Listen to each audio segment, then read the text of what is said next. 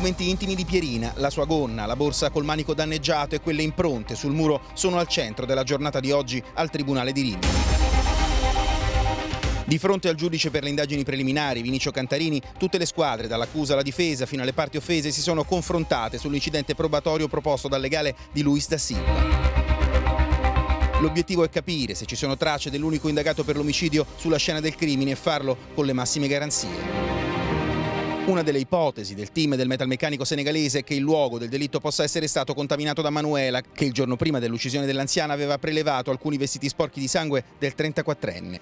Eravamo d'accordo che li portassi via io, e se poi dopo hanno voluto dire altro, questa è una menzogna tu non li hai utilizzati per incastrarlo come qualcuno suppone, prendendo il suo DNA da quei vestiti e posizionandolo sulla scena del crimine, una ricostruzione che secondo te è fantasiosa?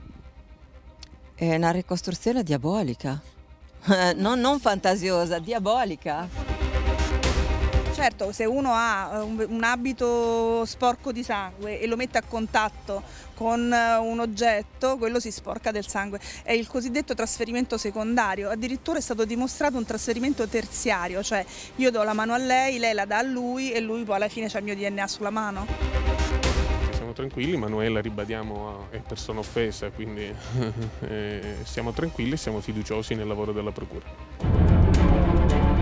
Per l'occasione il GIP ha nominato un super perito che soprassiederà gli accertamenti ripetibili.